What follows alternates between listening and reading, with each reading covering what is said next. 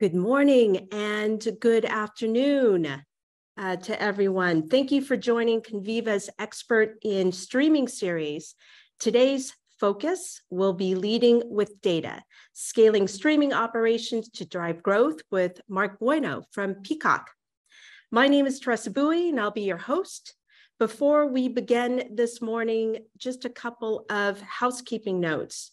We encourage you to ask questions via the Q&A or chat option in your Zoom menu. We'll try to answer as many questions as we can live today.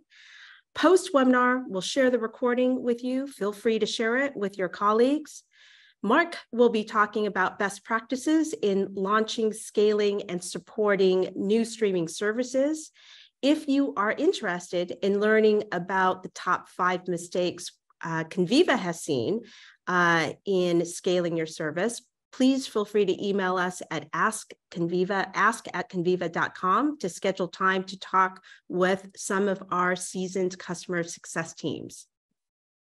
For those of you who are new to Conviva, we are the only streaming analytics platform for big data that collects standardizes and puts trillions of streaming data points in context and in real time. Conviva has reinvented the fundamentals of big data analytics with a platform that is purpose built to put complex, always in motion data to use for you in real time. With our time state analytics platform, any company can detect, can diagnose and resolve issues on live data with zero latency, making it easy to understand and act on real world experiences that your viewers have.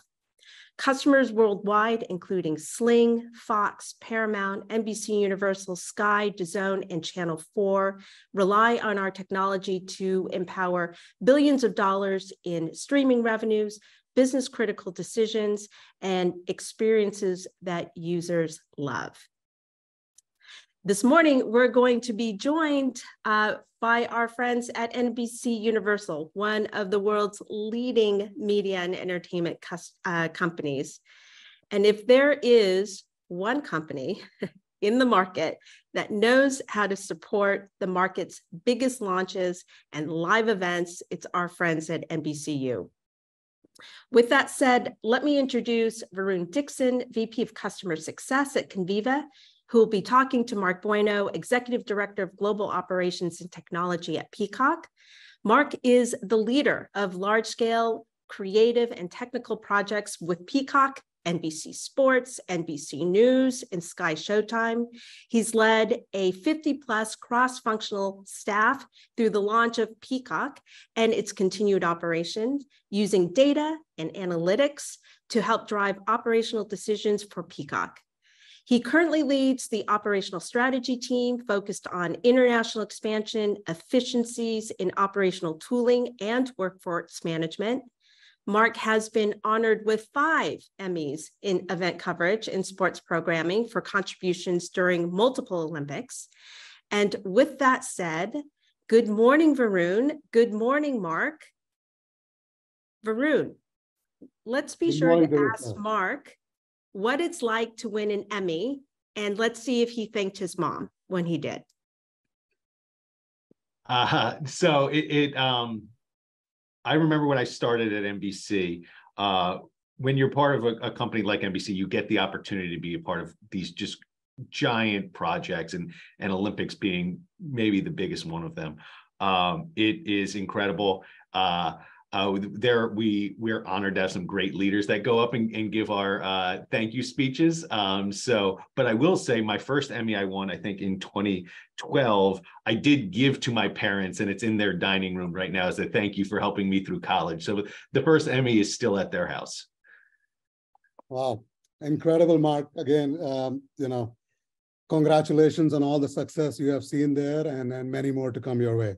Thank you. Uh, Teresa, thank you for introducing us. Uh, Mark, uh, first things first, I'm a avid uh, consumer of content on Peacock app. We are a family of the binge watches Yellowstone and some of the archive content like Everybody Love Raymond and King of Queens. So I want to compare notes. What, what do you uh, enjoy the most on the Peacock app? Um, so we are pretty similar. My wife is a huge Everybody Loves Raymond and a and a King of Queens fan. We we, we do like watching The Office. Just you know that comfort content from 10 20 years ago that you know it's just easy to put on the background we do watch a lot of that at night after we put the kids to bed um, speaking of the kids, we're really excited for the Super Mario, uh, the new Super Mario movie um, to, to reach the platform over the next month, I think. So that's one we will be tuning into. And I am a Penn State graduate. Uh, and I am really excited for Big Ten football to, to reach the platform this year. I think our first exclusive game is Penn State versus Delaware in September. So really excited to uh, to to watch some Penn State games on Peacock. Well, good luck to you on the on the game there. Uh, hopefully, it'll be an exciting one. Uh, why don't we dig in here? You know, so w- would love for for our audience to hear about yourself. You know, your role and and the team that you manage. Sure. So a little background about myself. Um, uh, like I said, I, I, went to Penn State. I went to Penn State as a, as a film major. Uh, my goal was to be uh, always working in video, but more on the creative side and I got the opportunity to intern for NBC uh, back in uh, 2009 in preparation for the Vancouver Olympics. So uh, this upcoming Paris Olympics will uh, in 2024 will be my eighth Olympics with NBC. I've been with NBC my entire career from intern to where I am today. So um, it's it's been really it's been really um, just a great honor to be with a company like NBC so long. So uh, after my internship uh, and I graduated, I took an opportunity with NBC Sports digital production, things like cutting highlights, studio camera work, uh, editing content. Uh, but at that time in 2010, we were already streaming uh, Sunday Night Football and a handful of other events on desktop only. Um, and if you go back and, and, and back then, technology teams were much smaller than they were now. We were just breaking into streaming at that point. So we were trying to split the work of technology and production. And if you look at his uh, traditional broadcast companies, uh, ad insertion falls more on the production team. So dynamic ad insertion was part of our team back then. Uh, so we were inserting ads again, desktop only for Sunday Night Football, uh, Ryder Cup, and some other events, maybe 40 a year. Uh, and then I believe it was 2011, 2012, the TV Everywhere initiative took off, and that's where the content exploded. We went from 40 events a year to probably 5,000 over that that first year, 18 months. Um, and my my position changed rather quickly. Um, and I, be, I, I, began to lead and manage the programming of digital content for NBC Sports. So bringing in different brands of Golf Channel, regional sports networks, digital exclusive content, NBC Sports Network at the time, bringing that into a, a holistic chronological order um, uh, programming document and then the specifications right? Does it require ad insertion uh, a logo bug closed captioning? Where where are these events coming from? So while i was managing that we also had to scale this dynamic ad insertion team um, around us then and then we did this for a few years. 2018, I did finally move to the technology team under NBC Sports, and I brought that dynamic ad insertion team along with me. So now we have live event operations and dynamic ad insertion all in one team. And I think I was with the team for a few months, and they announced the the the, the Peacock initiative. So uh, in 2019, we spent uh, planning, building out a network operations center, restructuring a team, and getting ready for that launch in 2020. Uh, we we were selected to be the operations team for Peacock because we had handled all of those major NBC events for all those years. Not only sports, but but elections and other events. We we were the the live stream digital operations team for those. Oh, um, yeah, so it, it was been good. I did that for a few years. Uh, and now I'm, I'm in a role where I get to take some of those best practices um, and scale that out for different joint ventures, different international expansions that we're going into. Look at some of our tooling, uh, making sure that our tooling stays consistent and it's and it's user friendly, uh, and, and, then also working uh, a little bit with workforce management, making sure all of our operation centers we're we're um, streamlined and, and, we're efficient across uh, those international centers. Oh, that's great. What a what a journey it's been. And I'm guessing the six out of eight Olympics and TV everywhere was a practice run to to get ready for this this Peacock launch, right? The all the the hard work and the learnings that you have had um, over the years. Uh, so you know, just just digging in a little bit more in the past year alone, you know, you guys have gone through significant expansion, supported like major tentpole events, FIFA World Cup. Uh, looking back, you know, 12 months, what what are you most proud of? Uh, you know, what's been the the highlight there?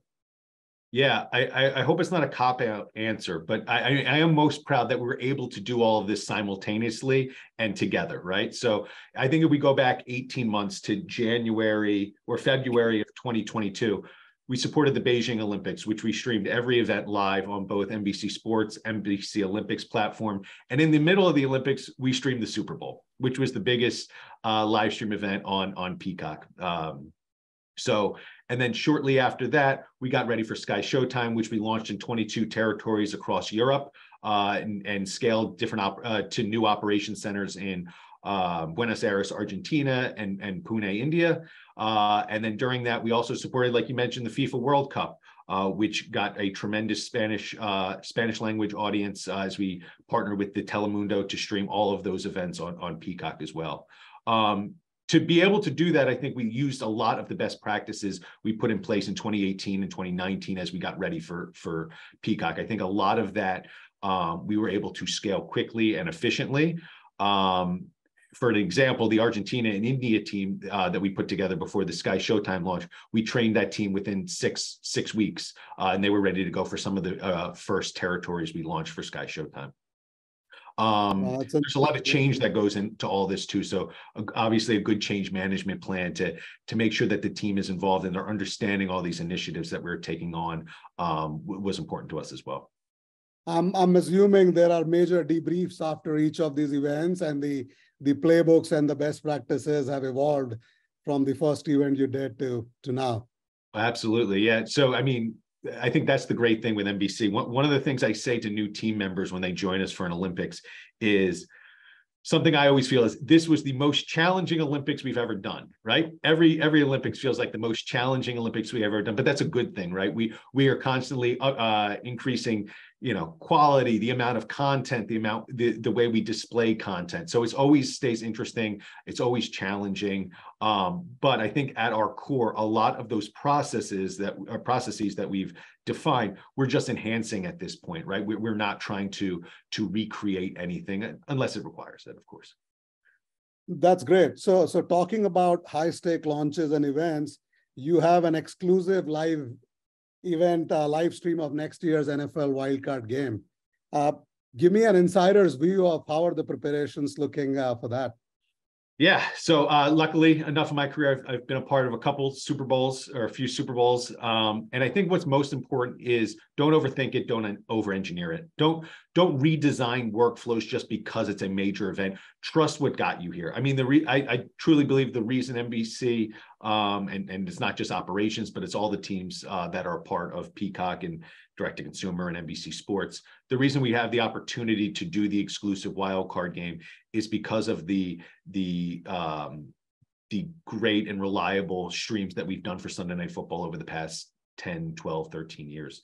Um, so don't don't uh, don't blow up what, what got you here, I would say. But I think what we look at is you obviously have additional redundancy, additional disaster recovery plans. You look at all the touch points in your service chain and you and you always want to make sure that you have a backup option there, a hot failover. So if it's if you're do, going DRM encryption, you're making sure you have multiple sources you can switch between, multiple sites that you're originating content from. We're, we're obviously a multi uh, CDN um, a workflow as well. So you're looking at all of the points in the chain. You're you're making sure that you have a uh, an option to switch or fail over at each point of those. Is there is there anything about this event, given that's the only place I'm going to be able to watch the game, that that has you maybe doing a deeper inspection of you know your process and playbooks and the the infrastructure support that you're going to be asking of your partners?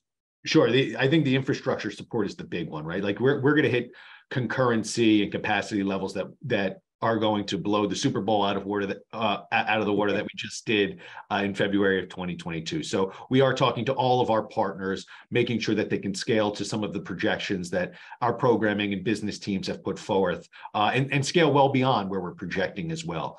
Um, yeah, so I, I, that that is definitely part of our operational readiness plan. I actually well, um, jump in if you wouldn't mind, because um, there are a couple of questions that have come in related to just what we're talking about. First, uh, uh, first question uh, to Mark. Congratulations on the major success with live events.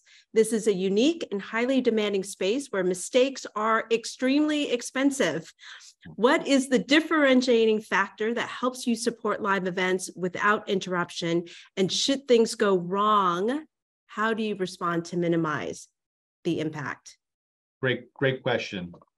Um, and around some of our biggest events, uh, if we do the job right uh, during the event, it, it should feel like any other event. It's very calm. It, it, the, the, it, it should be very even keel in the in the NOC or the operations. Ours is the DNOC Digital Network Operations Center. I, am not sure if I said that already. Um, but what we do leading up is is what, you're not seeing during the event is the six months, eight months, a year preparation we we put forth for these events. Um, we do tabletop exercises. So similar to an actor before they're getting ready to um, shoot a scene, we're doing a tabletop read. Uh, if a football game begins at, at six o'clock, we have every minute lined out from four o'clock of what action is taking place that minute. And the person that is taking that action is reading off of a, a piece of paper like it's a script. And we're going through that all the way to the end of the event. So by the time you're actually uh, doing the event it should feel like second nature. So um, a lot of preparation goes in um, and then you hope that the event feels very quiet and very easy during the actual event. The more you sweat in peace huh Yes, yes, like a, like a duck on the pond, they say. Absolutely. Well, look, we'll be we'll be partnering with you and rooting for you, and and I'm sure it's gonna be the it's gonna be an incredible success. Uh, you know, we talked about looking forward, but but I want you I want to take you back maybe six to twelve months back before Peacock launch, right?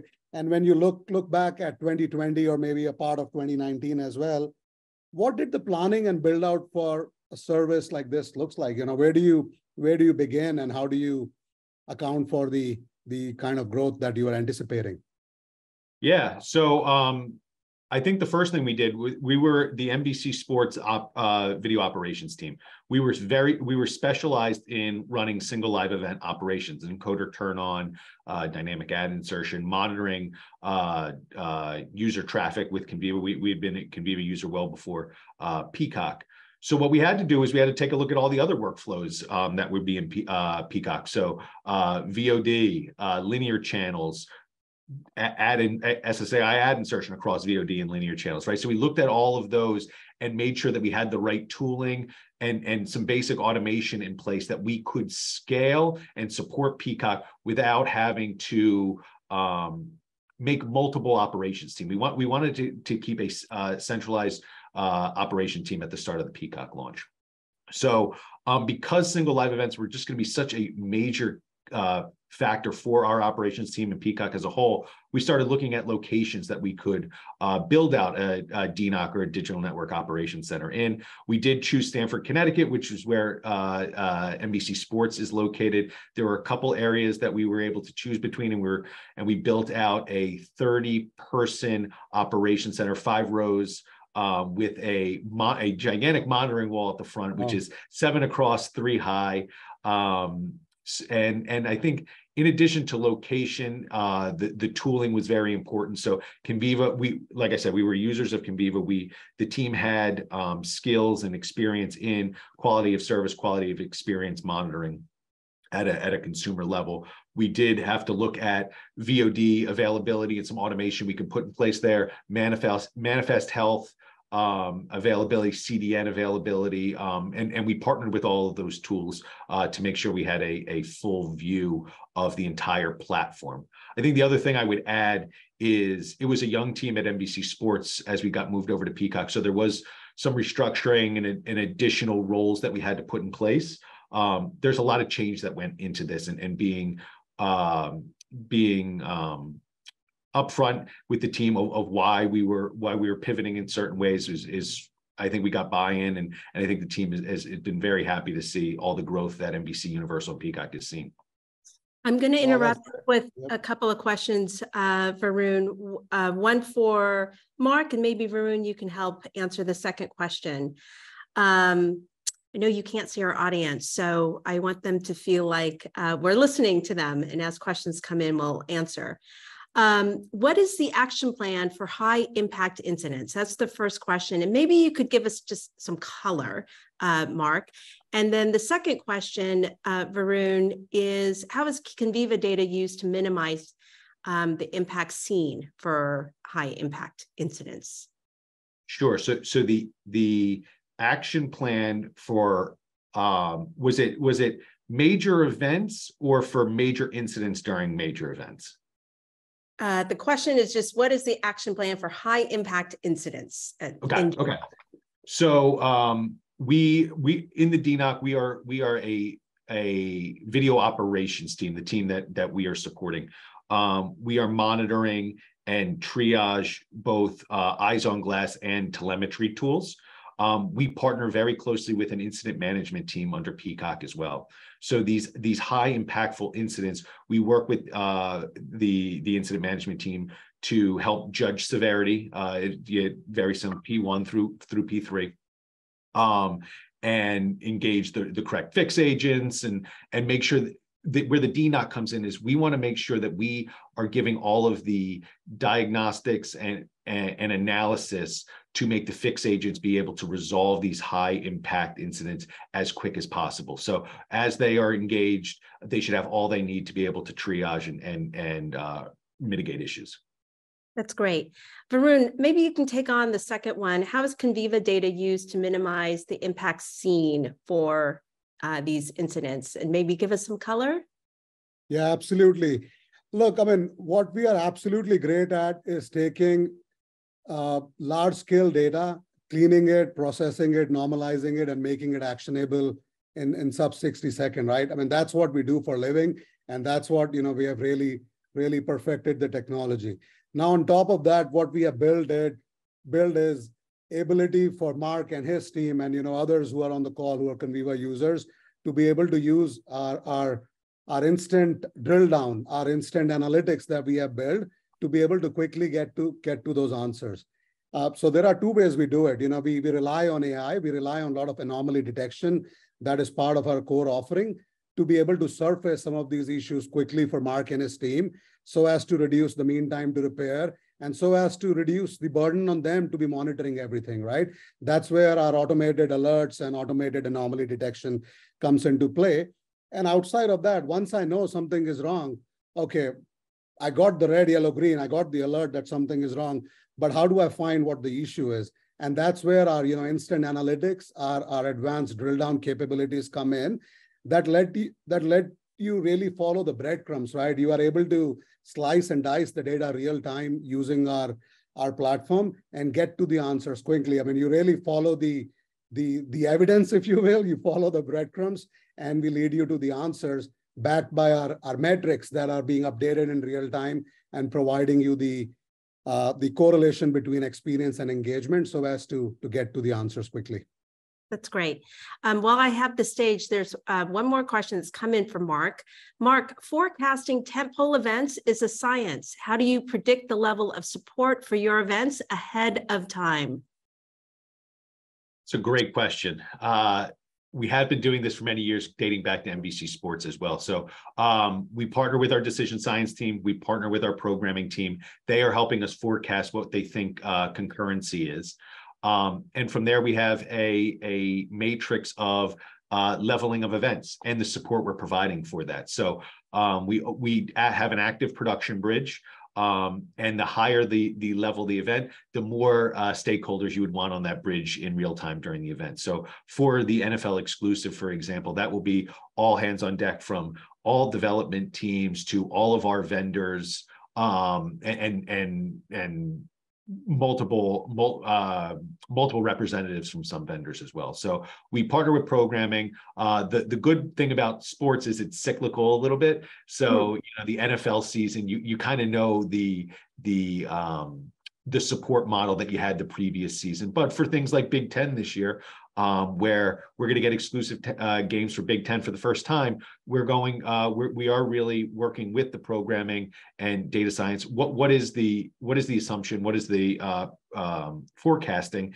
And then you try to model that off of a previous event you did with that same type of um, uh, concurrency. I think you also have to look at the business impact to the relationship and if it's a new event. I do think for a a a the first time Big Ten exclusive is going to be on the platform, you you always want to make the best first impression you can. So you roll out a a more robust support plan uh, for your for your launch than you may uh, later on um, as you get closer to BAU. Great, Varun, back to you. Yeah, thank you. Whoever asked that question, that was uh, next on my list, so I'll, I'll skip right through it. Mark, we you know we we have seen you guys being the the at front and center in terms of innovation and right you know forward looking. So the question I have for you is, what are some of the innovation or experiments that your team is has used as a way to enhance and evolve your operations that are promising? Are there are there any emerging technologies or things that you are you are looking at? It's a good question. Great question. Um, so I think what jumped out to me first when you were asking the question is the work that our operations team is doing in the testing and validation of 4K for uh, single live events. So over the past um, year from uh, origination of 4K content from from uh, control rooms and production teams all the way through transmission of those um, and uh, how we are uh, packaging and and and configuring them in our video CMS. Our team has worked with the development and delivery teams to make sure that we were providing requirements and and best operational process for the team. Um, so I think when it comes to quality and increasing video quality, we, we play a, a, pivotal role there because then when we are ready to launch, we're the team that's that's enabling that. But we're also mm-hmm. having the backup there. So I think uh, you know as you're expanding to 4K and and uh, um, uh, maybe 1080p, um, you always want to make sure that you your backups are there. What what you've done for many years. So so having a good run book, a good process in place is is, is what we would be contributing as well. Um, the other thing I would say is as we scale, we have a lot of tools and telemetry we're looking at across all the different video workflows. Bringing that into an aggregation model and a, and a tool that an operator can sit in front of and ingest multiple different alerts from multiple different uh, providers on one page um, in a user-centered design um, kind of uh, uh, UI both at a health view page that can be put on one of those monitoring walls that build confidence that the health of the platform looks good, but also at an individual operator level, so they can take action on multiple alerts. Because sometimes a a uh, an issue with the manifest will also trigger an alert from Conviva, and what we want to do is aggregate those together. So when we go give those to the fix agent, they have all of the material there. So we're starting to build tools like that as well.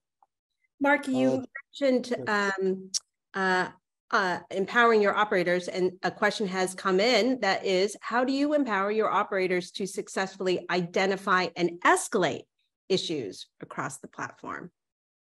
Yeah. Um, so I let me, let me take a quick pause there and, and think through how I want to answer that. Um, so our operators are, are are the first line of de- defense right? So as these alerts are coming in and the platform is being impacted they are the first eyes on the telemetry um, and and the escalation. So what we all of our tools including conviva we, we really go for a penalty box model right? So in the dnoc if you're there everything on the board should look green. And right when something goes wrong those red flags are flying that should get the attention of the operators um, they have that working relationship with the incident management team where hey something is going on. I i have to do a little bit more analysis or a little bit more um, investigation here. But an incident's coming uh, and and kind of starting that starting that prep work before we fully may completely understand where the issue is and then using all of the tool, tools at our disposal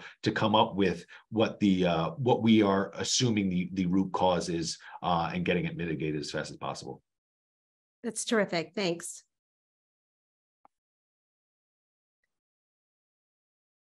All right. So then, Mark, building on on our conversation here, having witnessed the growth of streaming firsthand, you know, over the past decade, uh, are there any valuable lessons that you'd like to to share with the with the audience here? Oh, um, let me think. Um, yeah, so uh, we've been streaming Sunday Night Football again, going back to uh, 2009, 2010. And I think a term that you even heard back then was cord cutting, right? And how streaming is, is the future. And I think if you asked a young Marc Buono in, in 2010, I would think that that cord cutting was coming in in two to five years. Um, so I, I think what what I've learned is be patient, and that all of these distributions um, and technologies can live together, and I, and I think they will for a long time. And I think uh, they can be compatible, and for a business, they can be opportunistic too, to be able to um, use different distribution models to increase the amount of eyeballs that you're getting on this content, a, a wider audience. Um, so if you think of uh, pay one theatrical releases for Peacock, the box office remains a major driver post COVID. It, it's doing very well, and, and Super Mario is a great example of that.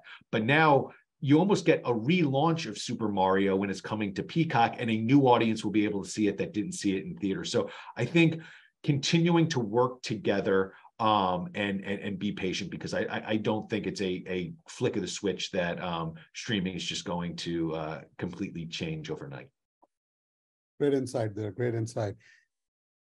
Um, all right. Uh, building on from there, my personal favorite here. Can you talk about your journey to being an operations leader? Yeah, uh, sure.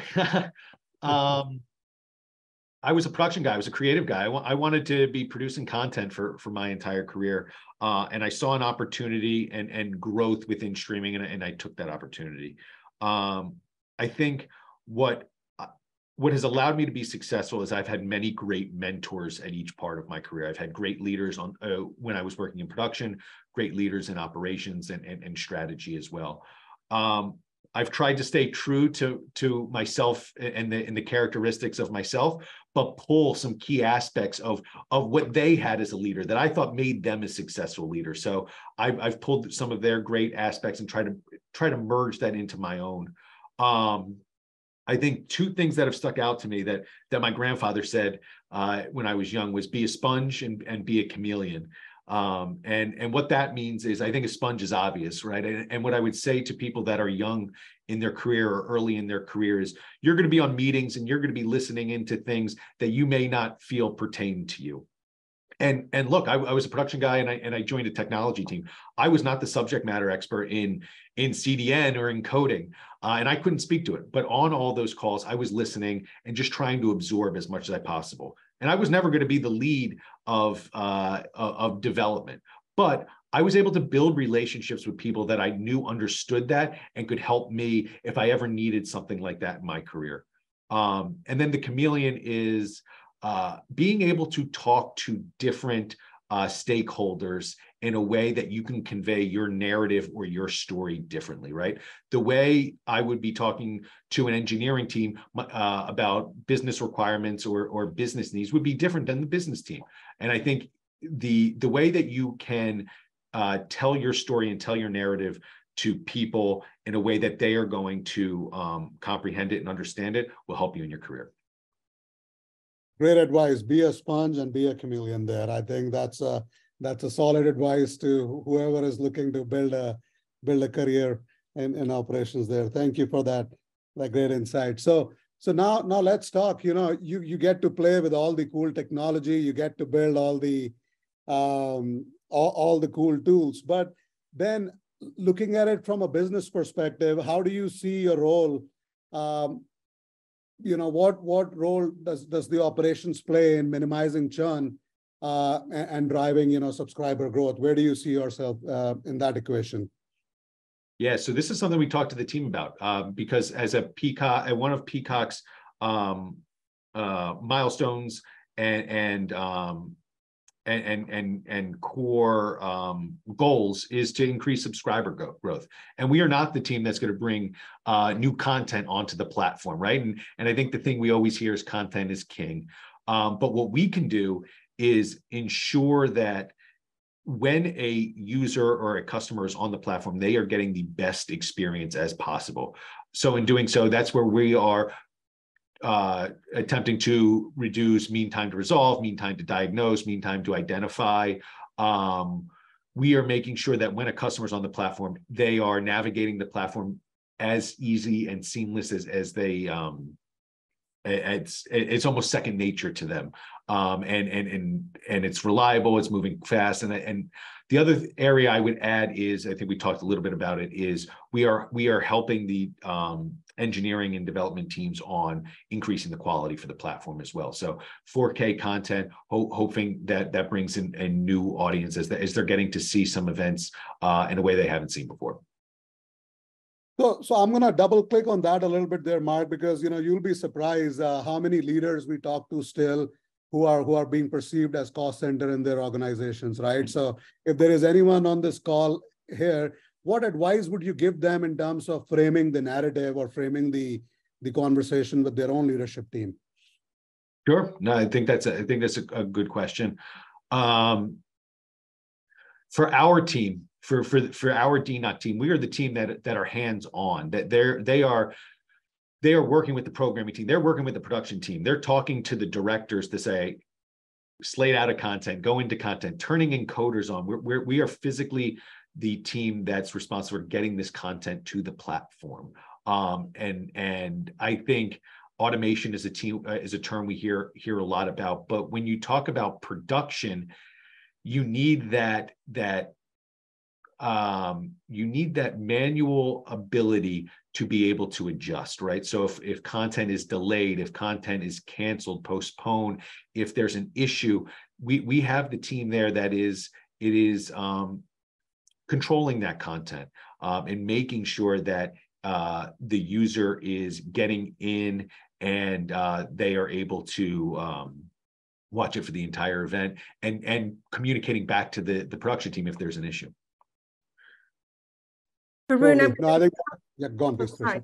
I'm going to jump in with a couple of questions. Um, how does NBC leverage recommendations and AI to limit operational overhead when scheduling Peacock content? It's a good question. It, it, falls a little bit outside of my purview from a recommendations perspective. Um, I can talk a little bit about the AI that we're doing on the operations side. Um, and we, we have um, ingestion points with our CMS that has availability date of VOD content.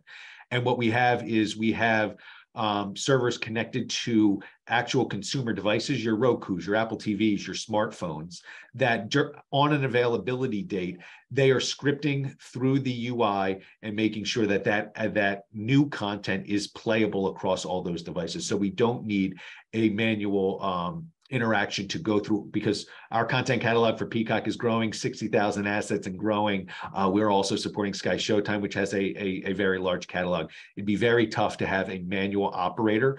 Um, not only ensuring that it's on the platform and available, but across 14, 15, 16 different devices that we support for Peacock. So we've put uh, an AI, so that that is really one of the, the first areas of AI that we've we've started to utilize for Peacock. Great. Well, uh, another question, uh, somewhat related. Uh, do you use a homegrown system to process assets programming? If not, what industry standard system do you use? Yeah. So again, um, a little bit outside of what our DNOC is responsible for. Our DNOC is think of it as the the eyes on glass and the the um, the last mile of the ensuring that things are playing from a technology perspective. We do have our custom um, video CMS that we use for both live and uh, VOD assets and editorial programming and, and merchandising um, that we do rely on to make sure that we uh, that things are on the uh, that things that are supposed to be on the platform are on the platform and when they're supposed to go live we have the right resources in place to make sure that we're running our processes in runbook um, but from a content acquisition that's a little bit outside of our operation. Got it. I'm going to ask one last question and turn it over to Varun. Um, this is uh, this is a Conviva related question, so maybe to both of you. This is back when you guys, I, I think we were talking about um, incidents and incident alerts. Um, how are threshold incident thresholds established? Is this discussed among different engineering teams?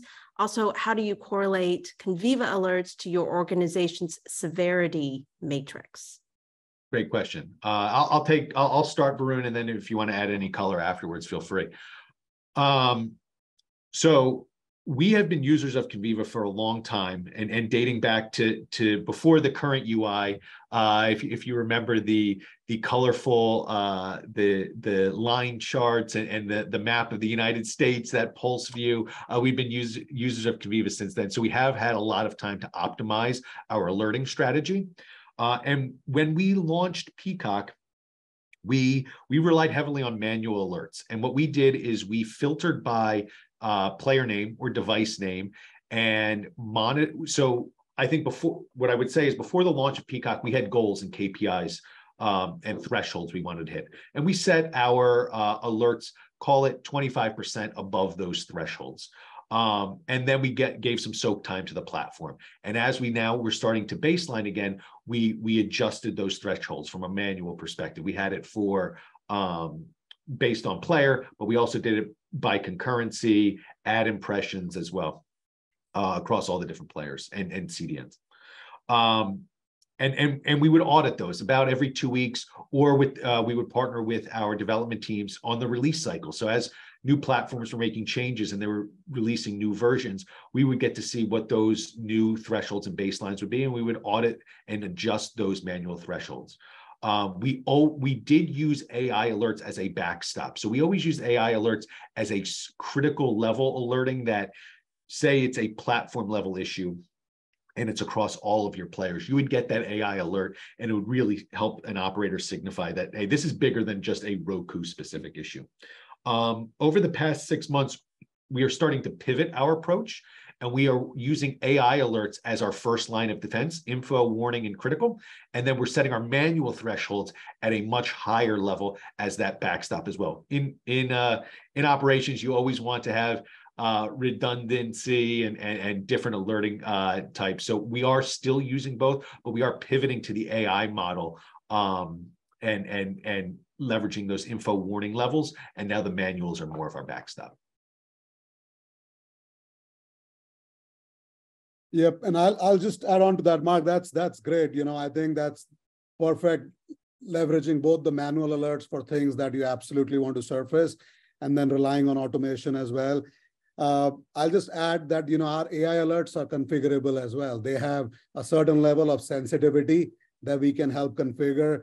Uh, that's where my team comes in. You know, we work with our publishers very closely, and based on the SLAs and KPIs that they have set for themselves, we help them tune those alerts. And I want to sort of uh, double down on something Marc said. This is not a one and done process, right? As you are launching, uh, you know, new feature and functionality on your app, as you are playing with new content profiles, as the delivery infrastructure continues to improve, I think the bar uh, that we have to set for ourselves and the experience that we have to deliver to our viewers, you know, the bar keeps keeps getting higher and higher. And as a result of that, you know, what we monitor and what we tolerate, that that bar, you know, that line also continues to shift. And that's where it's a consultative process. You know, we I think when we talk to customers, you know, we work closely with Marc's Marc's team as well. We are able to bring that best practice and our point of view into the discussion as well. That's great. Um, Varun, I know you have a long list of questions. Um, I think we have time for one more of yours. All right, let's uh, let's let's uh, let's look at the last one that I have for Marc. Then, you know, looking ahead to 2023 and beyond, uh, let's talk about your your priorities and goals in terms of operational tooling and strategy. Yeah, so I think it's to double down on, on a little bit about what we've talked about so far. Um, bring uh, bringing a aggregated model for our, all of our, our, our tooling needs. So an operator can take action quickly and integrate with a um, a um, incident management and and and, and uh, ticketing system. Um, so continue to expand on that. I, I have goals in having more visibility into into the chain. Um, video delivery chain as well that could bring into an alerting strategy. So when an alert fires, it, it, it, can show you where in the pipeline of a delivery of that asset it may have failed. Um, so continue to build on that. Um, I, I, think we had a great launch with Sky Showtime. Um, be able to support the business for future joint ventures or future international expansions. I have confidence that we're going to be able to, to scale that quickly after seeing what we did with Sky Showtime. So, be you know, if, if I'm looking at the next 18 months, I'm sure we'll have another um, expansion opportunity that will be able to roll out these processes and tooling across. Um, and I think something we talked a little bit about is finding the right areas to use automation. I think AI and ML are, are, are very um, front and center in our industry right now. Um, I talked about it a little bit of how we're using it for uh, VOD asset monitoring. Um, I think using it in the right way that we can leverage AI to do some um, scriptable operations and leave, leave our operations team to do the white glove, the, the real, the things that you want to save for a manual touch when you're talking about Super Mario hitting the platform, right? Like you need to make sure that that thing is going perfect. You need to make sure the NFL exclusive is going perfect. So using AI and ML to help us um, to optimize our team to focus uh, where, where uh, the business really needs them. I think that'll be important over the next year and 18 months. Well, we'll again uh, be working closely with you and supporting some of those initiatives. I look forward Absolutely. to it. Absolutely. Marc, it's been uh, it's been sort of great conversation with you today. Really appreciate you making time. I, I just want to quickly recap what I heard before handing it back to Teresa. Uh, uh, few things that I heard is you're you're really excited about the Super Mario yeah. Coming on the Peacock platform. So that's that's great. My kids, my kids are very excited. the, so you guys are looking forward to it. Uh, the other thing was don't overthink it, don't over-engineer it. I think the words to live by. Uh, trust your process. Couldn't agree more. Just because the environment changes or the scale changes, that doesn't necessarily mean you should try and re-engineer everything. And I think something that really, you know, I could relate to is empower your operators, right? How do you enable the people on the ground, the frontline folks to be able to, with the right tooling, right data, and, and capabilities and empowerment to make this decision. I think that's that's a great uh, philosophy there. And I think be patient, right? I think you said it, technology uh, and multi-platform or multi sort of uh, distribution will continue to coexist. And we got to figure out how to make it work for, for our audience, right? In both places, whether it's on the streaming or, or non-digital platforms. And then my favorite, be a sponge, be a chameleon. uh, you know, uh, noted, noted, noted. That's great. Look, Marc and Varun, thank you so much for uh, this lively session. Marc, I hope you're not doing anything next month because we didn't even begin to answer the inbound questions uh, for you. Uh, for our audience, thank you again for attending. We hope to see you at our next event. As a reminder, today you heard Marc talk about all the best practices. If you would like to hear about some of the top five mistakes we have seen companies make, feel free to reach out to us at ask at conviva.com. And with that, I will say goodbye and thank you very much. Bye, everybody. Thank you.